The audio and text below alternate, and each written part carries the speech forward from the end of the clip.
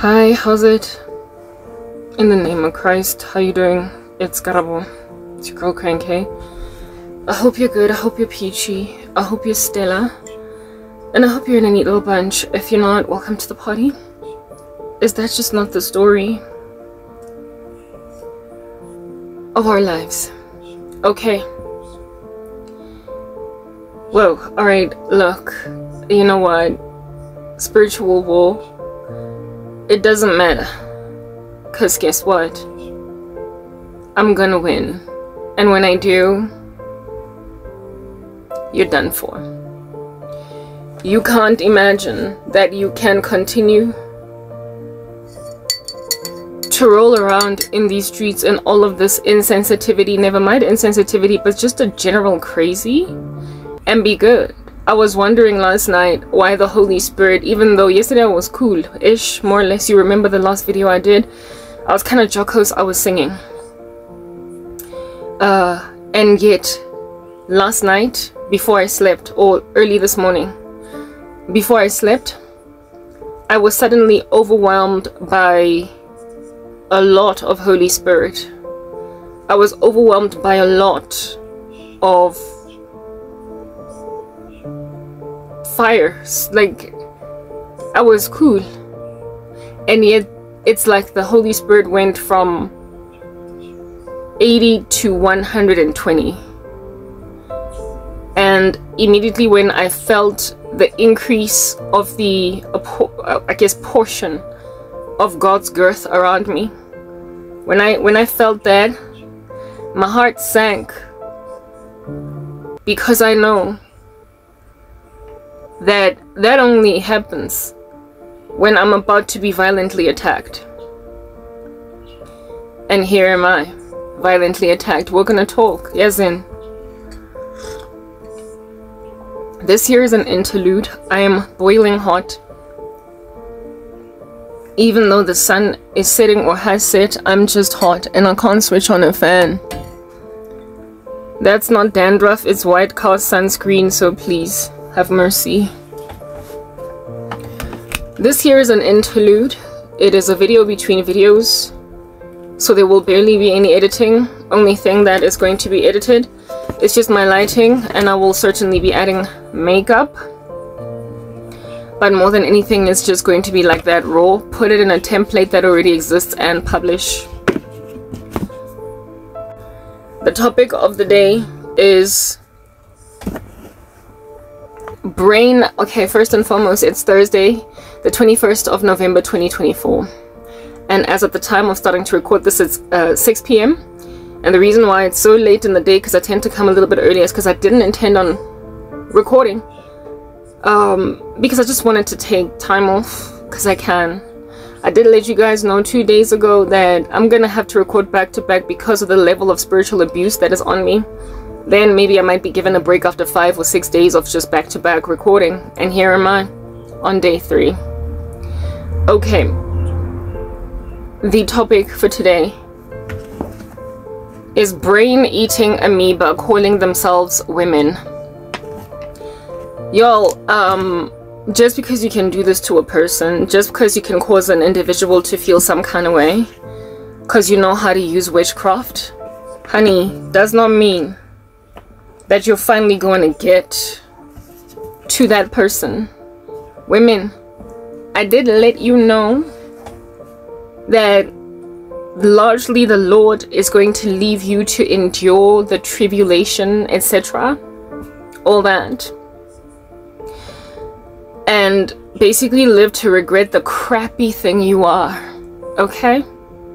Yeah, but I did also let you know that if you continue to sit on my chest like a log, just swaying left and right in your body, in that state, imaginative that you can keep on trampling me underfoot while I've got a big job to do, if you stand in between me and ministry, if you stand between me and what God will have me do in this season, if you stand between me and the work I must fulfill, Honey, just like any good old-fashioned man that is a Korobela junkie, you will go to eternity.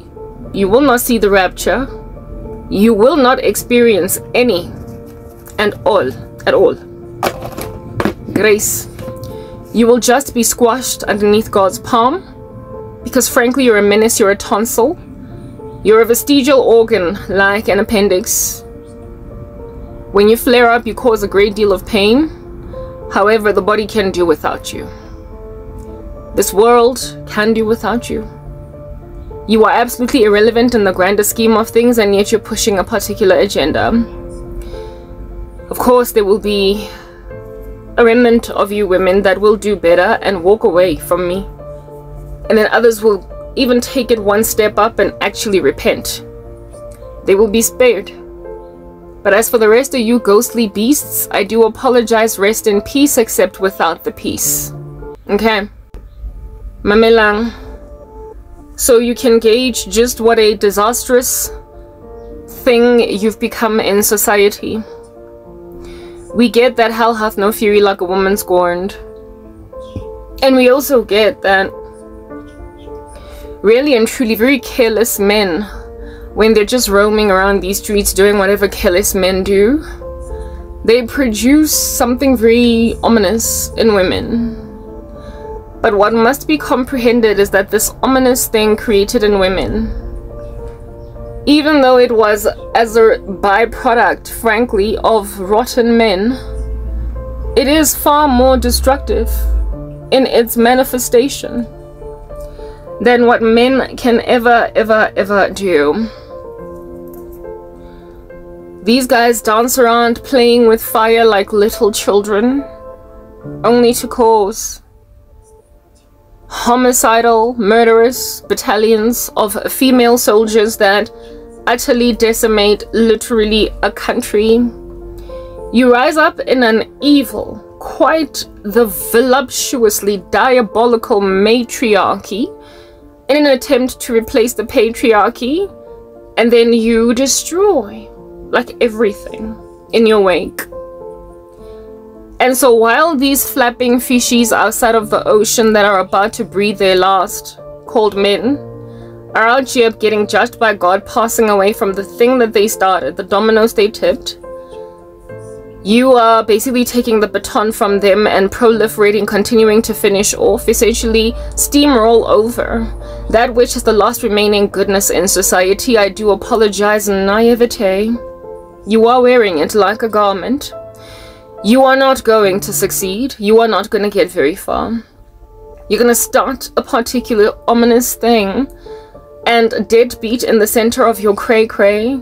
Herein lies the comprehensive deal perish much vibes you are about, to experience the same plunge into the eternal lake of fire, the abysmal condemnation that you brought onto yourself, like your husbands, like your male colleagues, like basically all these men that have been destroying the whole country. You are going to die with them like you are them. You are going to be no different from them, the way that you are going to be swatted out the way, albeit feeling feverishly like you've been done dirty, literally nobody cares. Albeit feeling feverishly like you've been done a bad blow, nobody cares when over and above being a victim, you are the be-all and end-all of the baddest perpetrator in the game. I did warn you women that if you don't move out my way, like men, you will die. That God is picking largely a bone with these miscreants in the street that just fart and poop on a spot, then walk on without cleaning the area, called men. These defecators like little animals on the street that have no regard for the fact that nobody wants to be gazing upon fecal matter just lying there, sticking up a storm with a dog walker being the only person responsible sufficiently to pick up this poop and throw it away because I mean how's a dog gonna get that done? Mm. These men who have littered the earth with feces. Listen up. The Lord has been the dog walker out here scooping the poop from the grass at the park. But then you women make a decision that there which the Lord scooped poop, you're just gonna go and squat and do your own little number two. I do apologize. You will just sit there and never stand again. You will cease to exist. You will breathe your last. You will very simply be taken to eternity because herein lies the deal. Nobody gets to patronize Jesus. Nobody gets to patronize God. Nobody gets to get God sweeping a room from whatever in there is causing filth. And then you just rock up and muddy it with your ugly shoes. It's not gonna give. Women, you are not the be all and end all of the thing that is supposed to be the bane of my existence, and so I apologize if you're feeling feverishly like that's gonna happen. Listen. I was not gonna record today. Until a woman wreaked havoc in my life, I told you I live on the property with a drunk. Listen. I have a preference. Look over there. That is a cup of coffee. This here cup of coffee is a unique cup of coffee. It belongs to me.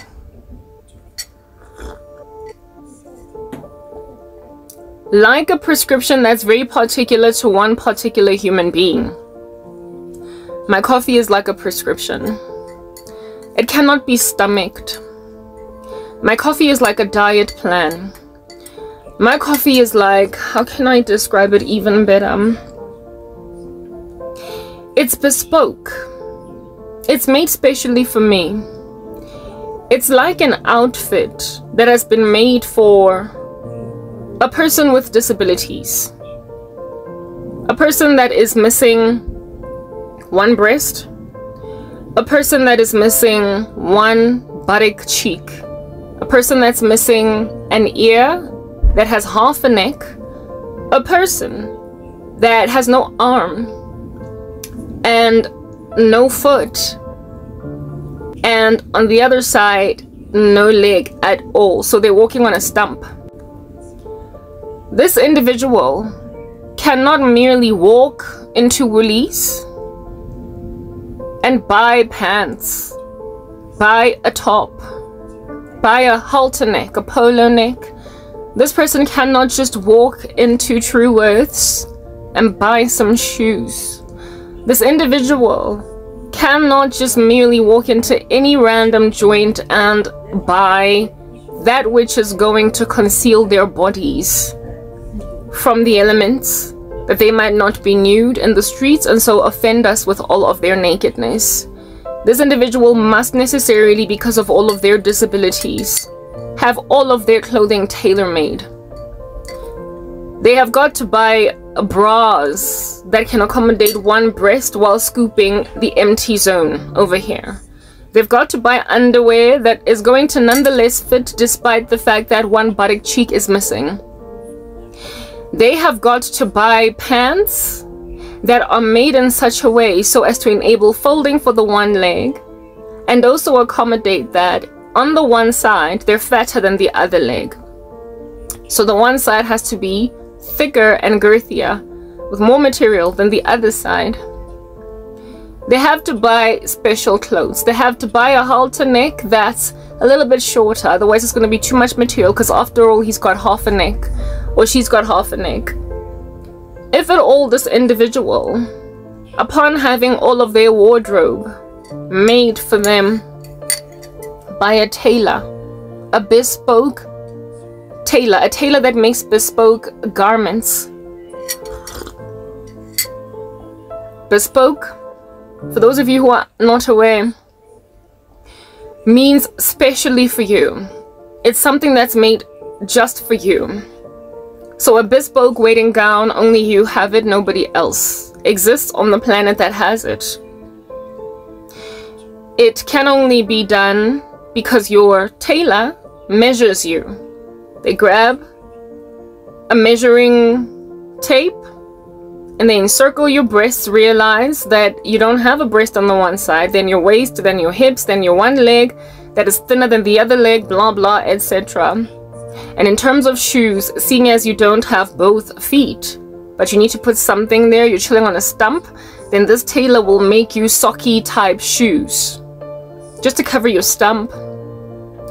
You are a person with disabilities and your disabilities are so exquisite, so extreme, that you have got to have every last one of the items of your clothing made for you. Or if you go to a store, they must be altered, those things which you purchase from the store. Very well. So if anybody of your siblings, anybody of your friends, anybody of your family members should they rock up like a bat out of hell and make an insane decision to just wear the outfit that you've put on the bed, prepared it, following taking a shower. You've put your top there, you've put your bra there, you've put your belt, your pants, which have got two different legs for sizes. The one is thicker than the other. You've put your your your your socky shoes there. You've even put your halter neck there. And it is obviously that which you are going to now wear after taking a shower. And then somebody, your sibling, your mom, your dad, your this anything, cousin, somebody around, friend, seeing this outfit that has got half an arm, half a neck, a particular oblong disposition above the breast area of a top, a bigger size on the one thigh than the other, and shoes that nobody else can wear except this guy. Then goes on right ahead.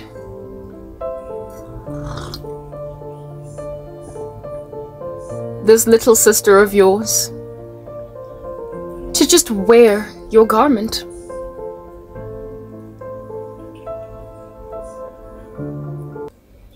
Herein lies your baby sister walking in, seeing your clothes prepared, hearing the shower water. With this outfit on the bed, you are obviously about to wear it. And then they make a decision while you're in the shower to wear that outfit. And then they alter it to basically fit them. So the halter neck is a bit shorter because that's your neck and then they just grab it and they stretch it.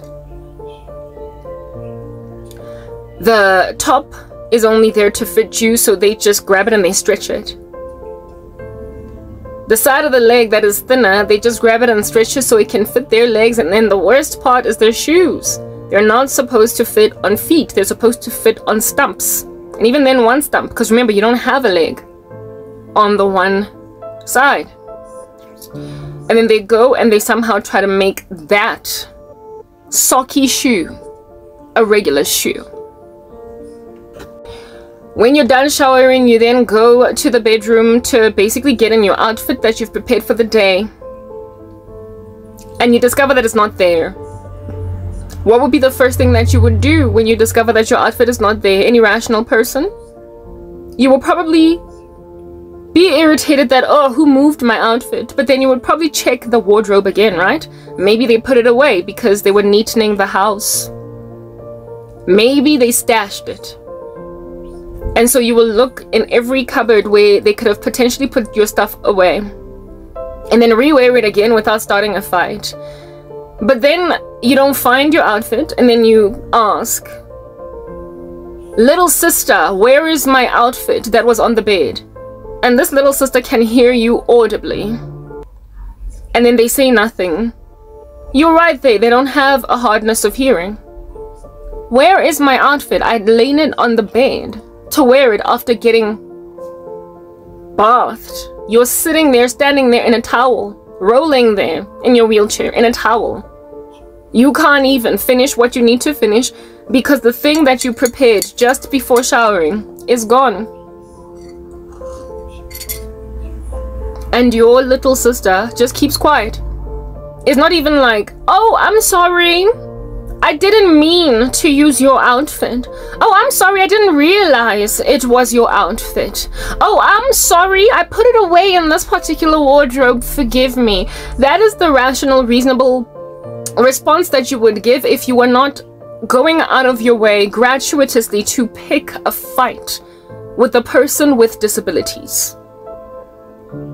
If you mistakenly wore an outfit that cannot possibly fit you, you would say, Oh, I'm sorry, I wore it by mistake because I liked the jacket. I didn't realize that you were going to wear it. After all, you left it on the bed for so long that I thought you'd given up on it. A response is what says, I was not going out of my way to harass you. to jostle you, to coerce you, to castigate you, pillage your peace. I was not going out of your way, out of my way, sorry, to declare war on your particular turf. I just mistakenly and innocently, honestly, just, you know, grabbed that which was obviously not mine because I imagined you'd neglected to need it anymore. That's what a person that wasn't picking a fight, but that, you know, out here did something that was disquieting to a person that wasn't was expecting that not to be done. Make no mistake, I'm at war, okay? I'm at war, I'm in a voluptuous, bountiful, feverish, hot war.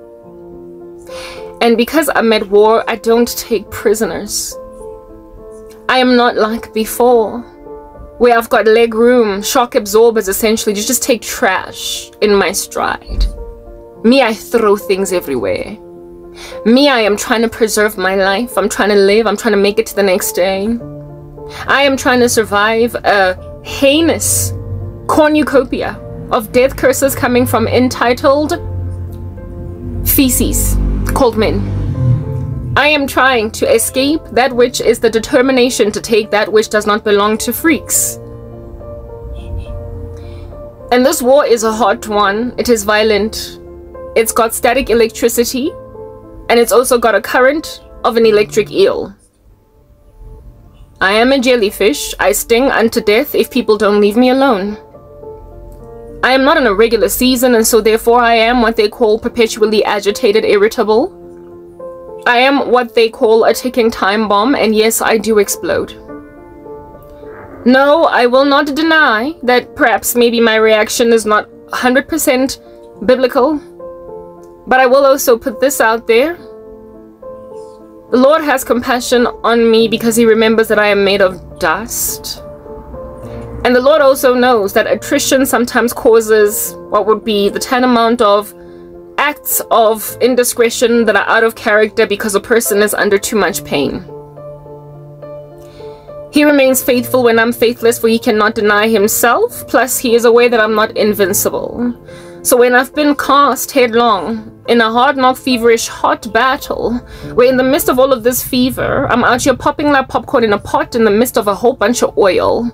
Comprehend that whatever indiscretion I may walk in in this season because of the crazy climate that I am encircled by because of spiritual war, the Lord will look at it like it ain't jack after all. My sins are forgiven me past, present, and future. They are removed from me as far as the east is from the west. So comprehend that if I do not turn the other cheek and I slap you back, the Lord is going to hold me back and be like, you shouldn't have done that, but then guess what happens on the other side? Forgiven. Paid in full. Guess what also happens on the other side?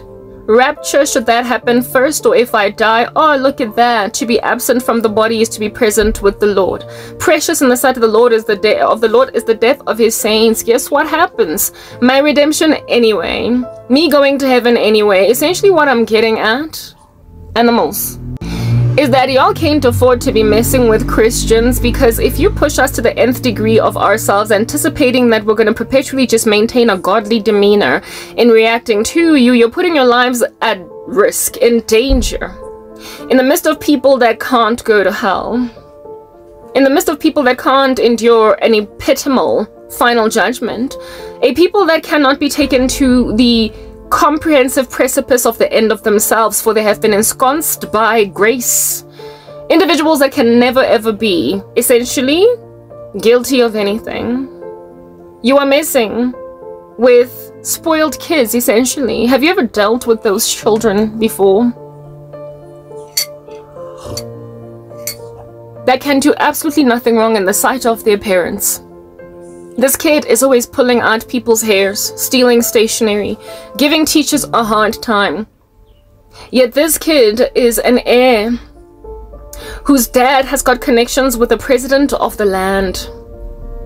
And so there's really no escalation that can be done that can ever cause a parent that will inevitably, with undue favor, always take the side of his child. There's nothing you can ever do when this kid frustrates the living daylights out of you. They will always get away with it. They will never get expelled from school. They will never get kicked out of home. they will also never be grounded. They will just come back eating ice cream the next day after you told on them.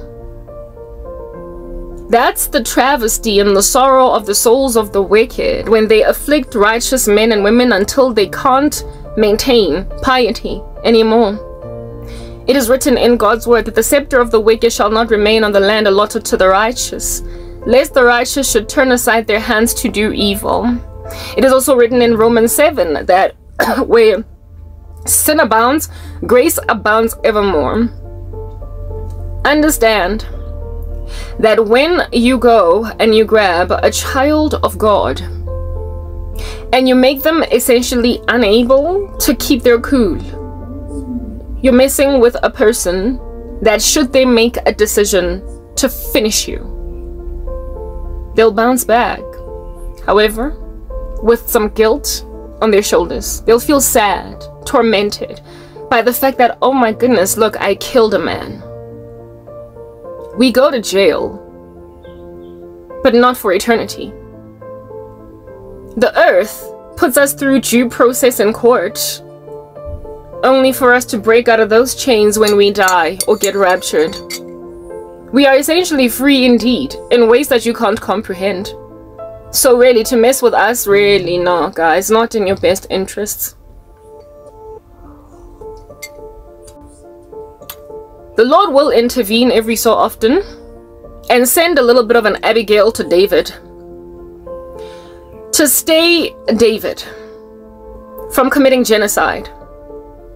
But you must comprehend that when David does a worthless deed anyway, the promise of God does not get taken away from him. You know, the man after God's own heart, he almost killed a whole village of men in the story of Abigail, Nabal, and David. But then later on, the same dude was not stopped before he did a strange thing. Later on, he went on right ahead, saw a woman at a distance, liked her, took her, raped her, had a baby with her, killed her husband, and just continued to jump up and down, acting like nothing happened. He got a slap on the wrist, because that's exactly what getting away with murder is. Getting away with rape is. He got a slap on the wrist, because that's exactly what acting so crazy in the climate of being a king, and so ought to be a lot more responsible, is. He got a slap on the wrist, cried a little bit, released some tears, wrote Psalm 51, broke it in a contrite spirit you will not despise. Oh God, don't take the Holy Spirit from me. And God was like, relax, I won't take it from you, but I'm gonna give you more slaps on the wrist where your life is gonna be hard, but at the end of it, you're going to write me a big fat chunky psalm again and say thank you for delivering me from all of my enemies. Yeah. It's the disciple that gets away with all murder because they're a disciple. You can't mess with God's children, even when they're naughty, okay? So when you then put us in the position to be naughty, I literally apologize. It is at your own peril. Because should the Lord, should, sorry, David make a decision to finish you off anyway as Nabal, you're the one that goes to hell, I do apologize. While David argues dealing then on that day with blood on his hands that, like I said, God is going to spank him for. Shitting. But he will not throw him away. We cannot be thrown away. You are messing with individuals that cannot be thrown away, whereas y'all are throwable. Y'all are throw awayable. You can be cast into a dustbin, an eternal one, just burning forever. An inferno in a pick it up plastic bag because you are refuse.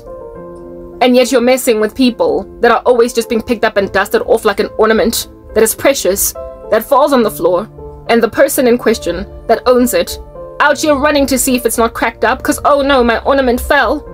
And then they dust it off, dust it off, dust it off, and make sure that this time around they put it in a glass cabinet where it cannot escape because I love my ornament. We are precious ornaments in the sight of God that must be protected at all costs that the Lord will run 2,000 kilometers over hurdles and mountains to ascertain that we don't crack when we land on the floor. Though the righteous man may fall seven times, he gets up each and every single time. But guess what happens to you, wicked men and women? You are suddenly overcome by calamity. I do apologize. The Lord knows that I am made of dust and so he has compassion on me. Jesus Christ is aware that there is a great deal of attrition. People are out trying to poke and prod away at the apple of his eye. They're trying to make me feel so frustrated that I will keep on sinning against God by being intemperate, essentially very aggressive, angry all the time, breathing fire like a dragon. You think that me not being able to turn the other cheek but instead throwing stones? You imagine that when I cannot, essentially, since I, no sin, nonetheless cast the first stone, you think that if I make like the Pharisees and nonetheless stone, the adulterous woman, you think I'm going to hell? I'm sorry, no. It's called grace. That's where it applies. Where sin abounds, grace abounds evermore. You don't get to push us to the nth of ourselves and think that we're on equal playing ground here because all of us are just crazy. No. The spoiled brat kid who can't do nothing wrong will always frustrate you in school. There's nothing you can do to tell on them. There's nothing you can do when you are just trying to hook up a caucus of other students to petition to get the student fired from school or expelled. Sorry, you can't get rid of them because their dad is the headmaster, their uncle is the president of the country, their uh, second cousin twice removed is the minister of education. Like you literally, you can't, you can't, you can't win. You can't win. You can't win.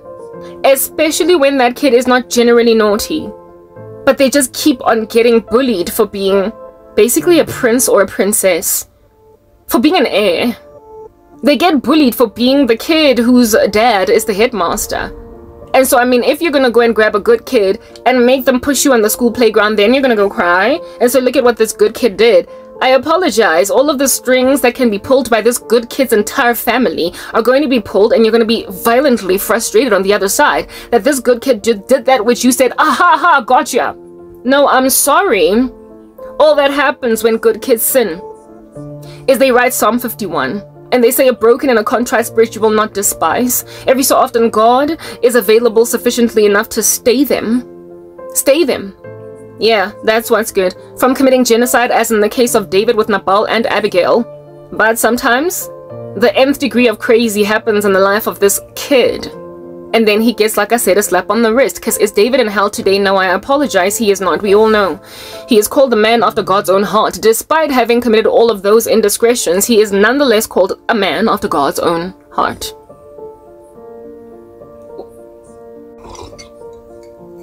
So when you get me banging doors and screaming at the top of my neck and throwing out maybe even expletives, I apologize. I am still filled by that very Holy Spirit that rose up from 80 to 120 degrees. Last night, He was there in advance, prepared the day ahead, knowing that I'm going to get stung by bees, hit with multiple arrows, have a fire just thrown in my camp. And so I am going to react in the fever of all of this unadulterated attack, like this gratuitous, just unwarranted, however, nonetheless a scoopy attack, because it was like a scoop of ice cream all up in my grill, voluptuously just around and cold. Came at me. And my response was ungodly. But guess who's still filled by the Holy Spirit? You can't imagine that you can throw me in a whole bunch of attrition and then God will forget about me. I'm not you. When you sin, it's like just another Tuesday. When you sin, it's just, oh, they've started again. You're like, indeed. I mean, you know the junkie, they can't do anything right. Hey? That kid that's always stealing everybody's purses? That kid that after you have hung out with them, all of a sudden your sneakers are missing. You know that kid. That kid that everybody does not trust. They cannot be sent to the store to buy bread because he's not going to come back for three days. You know those kids. They're at it again. They get yelled at even when they've done nothing wrong. Because everybody always suspects them of strange stuff. That's you guys. You're little witches. You do strange stuff. You are the ones with the bad rap. You are the ones with the bad attitude. And you are the ones that even when you try to do better, frankly, don't nobody ever trust you. And so for those reasons, you will perpetually be frustrated by the goody two-shoes that even when they do wrong, nobody wants to yell at them all day long. People ask them, oh, but why did you do that? There must be something wrong. Like when a good kid actually fails a, a subject at school. The parents would be like, is there something wrong? Do you need to see therapy? Does something happen? Are you okay? What's up? This is not like you. But when a bad kid fails, because he's been failing all this time, they just keep on getting yelled at. Oh, daddy, low, obvious, duh. You're gonna amount to nothing. At this rate, really, I don't even know what your future looks like. Nobody's out there trying to figure out what's wrong with him because he's always been like that, and that's you. You see, you can never be me, and that's the thing that is out here eating you alive like maggots on a cadaver. I'm the good kid. And in the season of hostilities against my person, you are frustrated by how God just keeps on slapping my wrist and moving on.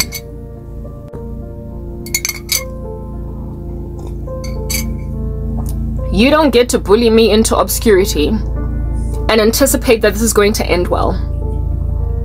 You don't get to bully me into obscurity and anticipate that this here is something that the Lord is going to rebuke me for. You don't get to act a cray cray fool all up in my grill and expect even the world around in the midst of miscreant kids like delinquents that are known for delinquency. You know, you, you can't possibly imagine that the world is overnight going to change its mind about me. No matter how many doors I bang. And no matter how, in a spirit of a whole violent amount of pain, sorrow, and anger, I then release an expletive you can't imagine that anybody's ever gonna start to think of me as that unregenerate sailor.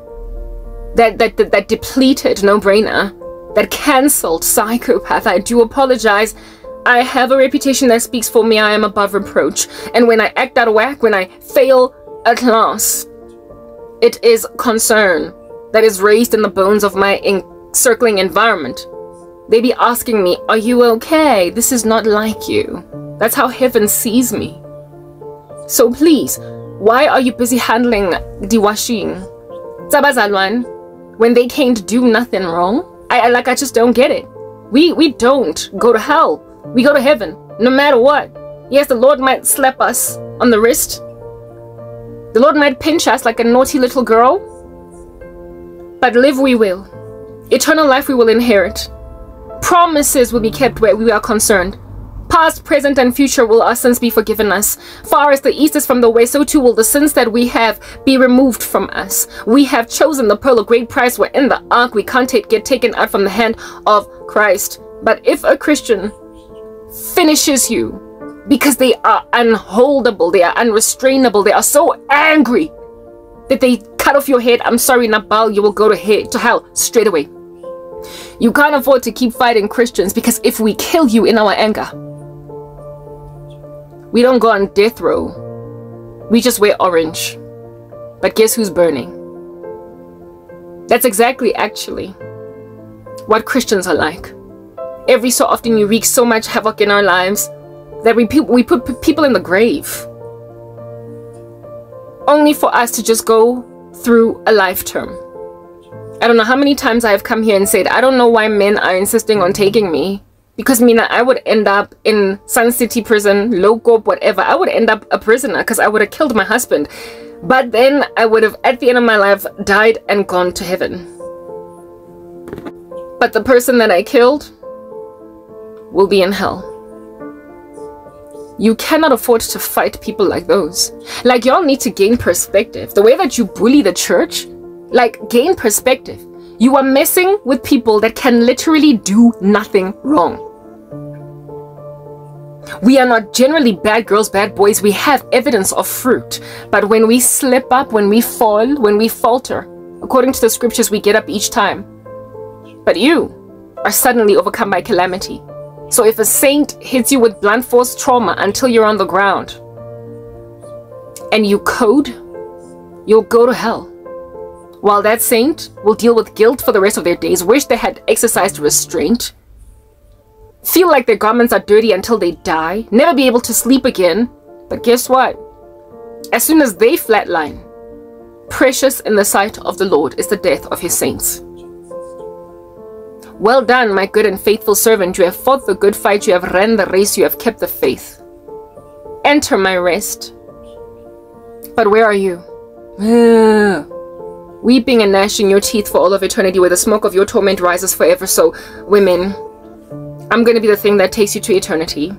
And while it will sting, while it will hurt, while it will absolutely obliterate my heart, bottom line is, I am going to live to tell the story while you will be in hell.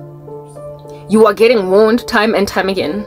And like my relative that out here, Ali, Alimo, Alimo, Hashem, they are sending themselves hitting the ground running to hell. I can do nothing wrong.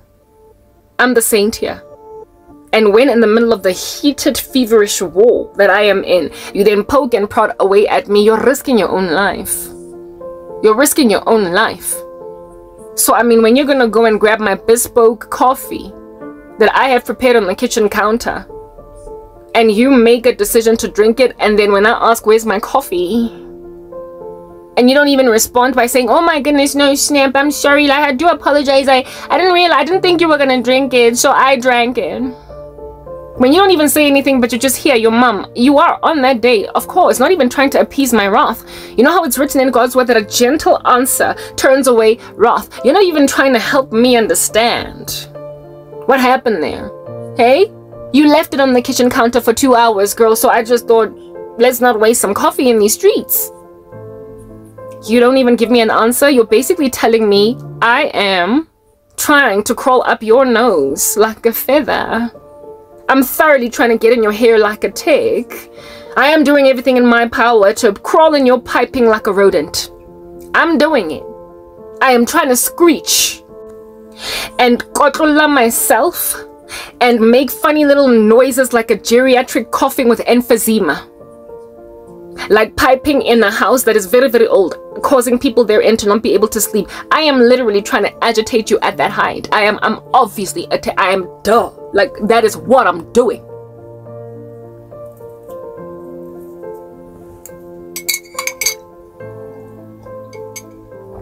Then I'm gonna be like, but what did I do to you? How many times must I tell you? You remember the video the other day that I did, that I shared? Speaking about how this little drunk called up my skirt and took out my drinks from the refrigerator and just left them on the kitchen counter so that she could fill up the space where I had put my drinks with her whatever, her juices. And I spoke about how my reaction was to take her juices and throw them on the pavement and then in her room and then bang the doors all over the show because why, oh why under heaven are you taking my things out the fridge? You're not the only person that lives here. I took yours and I moved them to another part of the fridge and yet you took mine out of the fridge altogether and then just stashed the whole entire fridge with your junk. And how I reacted by basically grabbing those liqui fruits and throwing them on the pavement. On that day, I was already suffering an exquisite amount of spiritual war. There was already a death spell in operation. The guy from America was busy burning candles. A whole bunch of guys from South Africa were out there trying to get me to commit suicide. I had had a whole bunch of suicide dreams. I was enduring spiritual war and I was about to come and record a video and try to make myself feel better. I was just going through it in my own body. And then this person decides to grab. You see, that's just the thing. I'm like a skinned animal or a skinned person that is still very much alive. Or a person that has been burnt that is still very much alive with no morphine. Mm. The smallest little feather hurts. The braze of a feather hurts. I'm sensitive. The smallest little offense hurts. I basically overkill. I overreact. I shoot a fly instead of swatting it. I am presently in so much spiritual war that small little buzzing flies get whammied out the way with a hand grenade. That, that's how it is with me right this moment. Please make no error. I am sensitive at present. I'm skinned. Don't come here, not even with your feather, and try and stroke my skin. I will punch you into eternity. I'm attempting to save my own life. And while this indiscretion is mild, meager, it's worthless. On a normal day, when I'm a normal person and I don't have 20,000 witches all up in my nostrils, like snot. I'll just leave it, turn the other cheek, indeed employ biblical principles. But when I am already tipped over in terms of how much affliction I can endure for the day, when spirits are out here chanting, die, die, die, behind me, when I have to find whatever louver I need to find to escape the temptation to take myself out, and then you come at me and you grab my, my, my, my, my drinks and you put them on the kitchen counter, you're begging me to just basically give up because everything is falling apart, they can fall apart. You're out here fulfilling Murphy's Law. If anything can go wrong, it's going to go wrong. You are essentially adding insult to an injury you are under normal circumstances quite frankly ignorable. But today, no, you're not ignorable. Why? Because you're out you're putting one small little feather light pin on top of an already overloaded weight of junk. It's going to capsize, capitulate, crash, burn if I do not whisk that needle away with a racket, a tennis racket. I won't even remove it with my finger. I am going to whisk it off with a tennis racket. I'm gonna overkill. And then, and then, when you have the grand imagination that I'm going to be regarded on that day as, listen to this, intemperate, short fused, struggling with anger management, I do apologize. No. Among the fruit of the Holy Spirit is temperance or gentleness, like just a tranquility about yourself. But you see, we're not invincible. The Holy Spirit, with, eh, with Him, we put to death the deeds of the body. But we still make war with this body of death, like in Romans 7, right? We are still out here striving with the flesh. So when Satan and his minions feel as if though they can just pile on a whole bunch of trash on us, Paul comforts and says that where sin abounds, however, grace abounds evermore. But indeed, the Lord does give us the Holy Spirit that we might be helped along with the deeds of the body. We put to death the deeds of the body, but if the devil overwhelms us with sorrow, Paul makes it clear as Christ is communicating to him to write that holy word that where sin abounds, grace abounds evermore. You can never ever put a Christian under so much pressure that they will stop being seemly in the sight of God. We are propitiated for by not our own justice or our own righteousness, but Jesus. We are imputed on righteousness that belongs to Him, and that's why we get away with murder. However, because we have the Holy Spirit, we make war with the flesh. We don't just capitulate to it, but should we? Should we capitulate? Grace abounds evermore. That's where that's applicable. When you're out here striving, making war with the world, and the world decides that they're going to add more insult into your injuries, and then you decide to respond by just shooting it in the head, the Lord will be disappointed. Following which he will give you a slap on the wrist, and at your death he will say, Well done, my good and faithful servant. You have fought the good fight, you have run the race, you have kept the faith. You cannot ever outdo a Christian. And you can never ever accuse a Christian of being intemperate, hasty, feisty, when you have gone out of your way to harass them in a way that is observable, in a way that is clearly the act of attempted assassination.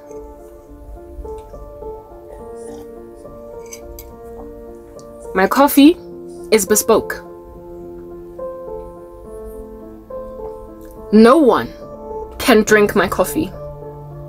Because frankly, it's a menace to most. I put eight teaspoons, maybe even eight and a half of sugar. I put three, maybe three and a half heaped teaspoons of coffee.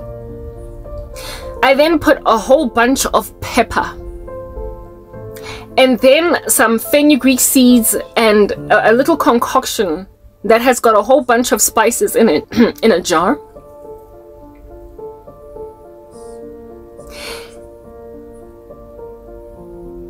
And I don't like it with milk either. My coffee is strong and extremely sweet and very spicy. It's not for everyone it's it's not easily takeable in one stride, especially considering I clobber it with pepper. Pepper. It's hot, yeah, baba. No one can grab my cup of coffee off the kitchen counter and sip on it and finish it. Unless they have that acquired taste for it. My fat my mom only takes 3 teaspoons of coffee, of sugar, sorry. My uh, sister, she's watching how much sugar she brings in. She's got a whole health consciousness going on. That makes her even more culpable for this rubbish. When you are a careful health nut trying to keep your your waist at bay, and then you grab a gargantuan mug of coffee on the kitchen counter, whose contents are literally up to here. Like the way that there's so much sugar, so much coffee, so much all of this stuff. Like it's here. And then you mix it, you, you put in water. Well, when a person happens upon that much whatever is in here on the kitchen counter, and then you decide that you're going to go pour water in it, and on top of that add milk, which I don't take with my coffee. And then when I ask, where's my coffee? You then don't even respond. And then I go in and I discover that you took it, you made it, and you added milk on top of that. Of course. I'm going to throw my toys out the car. I'm going to bang the door, and I don't care if you're in the phone. You're on the phone. You're going to be understood as one that lives in a very chaotic environment with whoever you're on the phone with. Why did you take my coffee? And right next to the coffee that she made was some other cup of coffee that she had earlier made. So she basically mixed up my coffee and told herself, I'm gonna irritate the living daylights out of her. Following me throwing my toys out the car, she then started to speak some stuff that I could not even understand that was inaudible, incoherent, incoherent. And I was like, you know what? This woman Yes, like it, man. Like, Satan is like a jockey. And she's a horse. Man, how she just gets ridden. Man, how people out here be hanging on her and she just gallops.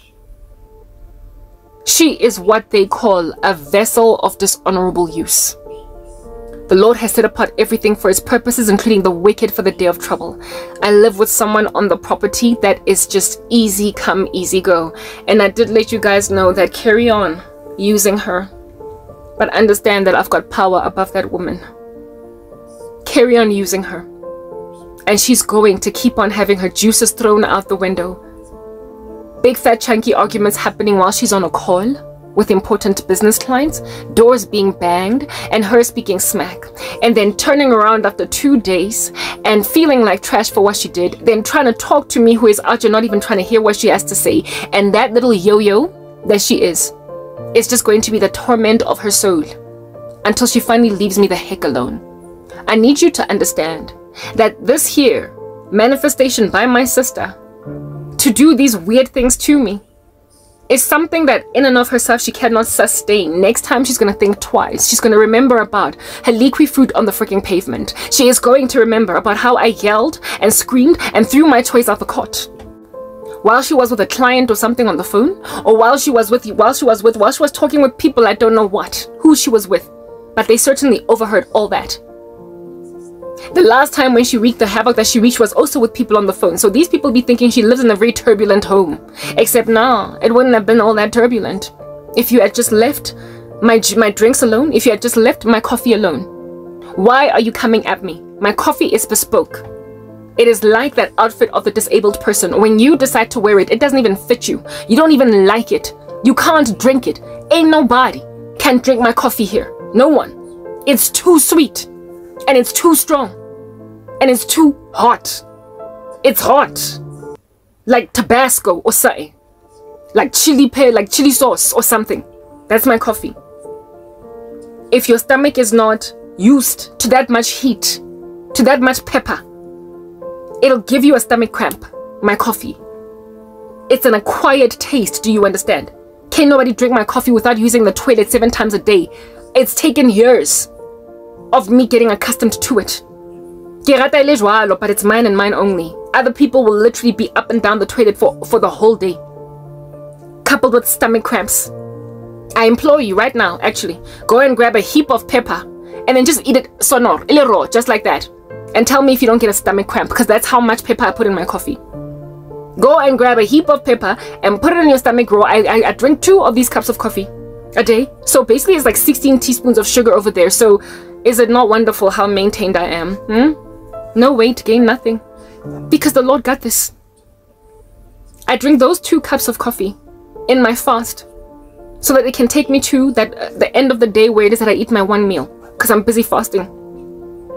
And it's super, super peppery. It would give anybody a stomach ache. I not only drink my the pepper in my coffee, but sometimes I just take it in so as to overwhelm my senses senses if I get a headache and there is no painkiller in in the room. Nobody can take the amount of paper that I take and not get a stomach cramp. So when you put water in that bespoke cup of coffee, you are literally trying to get at me. You can't drink it. You won't drink it. But you just want to cut me because you can. But you see the, the ramifications, and I've been saying it time and time again, the consequences of cutting me always hit her. She comes back after two days and she tries to force an a greeting on me. She tries to force talking to me and I'm like, I don't want this nonsense. I don't want you. Leave me alone. You are a vessel. You are usable. You are a horse. And the kingdom of darkness are freaking jockeys. They just ride you. I am in too much spiritual war. I can't deal with you. So women, just like my sister, just like this drunk, just like this woman who ought to be drinking some peppery coffee even though she can't take it in her stride. You're like brain-eating amoeba. And you're about to die. I cannot tabalelona. The dreams that I got, like proper. Y'all be out here trying to take what you can't take. You are like Goldilocks. I need the loo.